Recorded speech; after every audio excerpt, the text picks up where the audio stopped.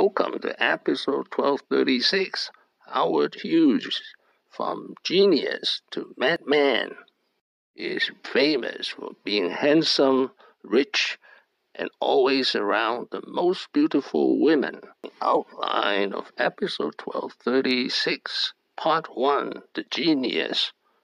This is part 2, The Madman. Question. You asked me just now uh, about a reply that I made. My answer is I don't remember. Now, the man is Well, taking I'll it ask down there. you Let's again. ask him. What? Will you bring Mr. Mars in at the 2 o'clock session? Uh, I no, I don't think I will. Will you try to bring him in? No, I don't think I'll try. All right.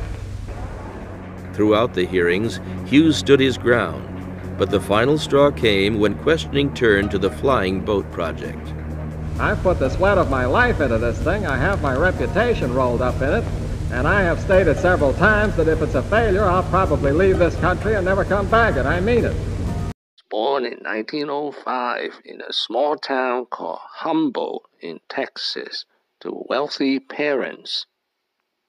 His father was a lawyer who became rich by inventing an oil drill and starting his own company.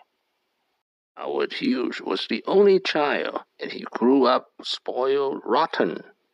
He was 16 when his mother died, and he was 18 when his father died. At age 18, he inherited a thriving company and became a millionaire. He dropped out of Rice University, let others manage the oil tool business, and set out for Hollywood in 1925. He was 19.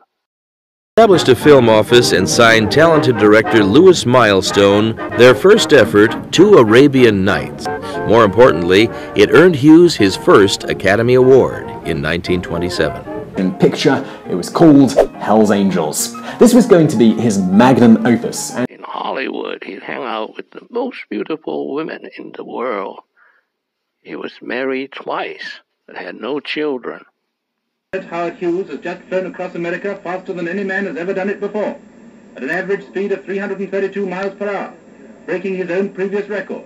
I understand that you flew at an average speed of 332 miles an hour. Is that correct? well, you're better at arithmetic than I am. Now, the part two of Howard Hughes' life the madman, first the recluse, and then his death. the state. Hughes, the sportsman and pilot, engineer, eccentric, but most of all, billionaire. He made Nevada his home and empire. Up there in the penthouse suite of the Desert Inn Hotel, he cut himself off from the rest of the world. Total, absolute seclusion. But In 1976, Howard Hughes died without a will. He left behind two and a half billion dollars.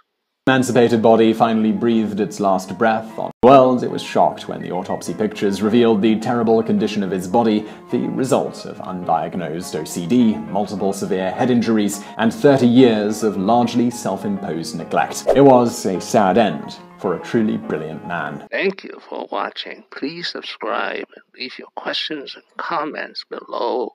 My next video will be Howard Hughes, 9 Lessons.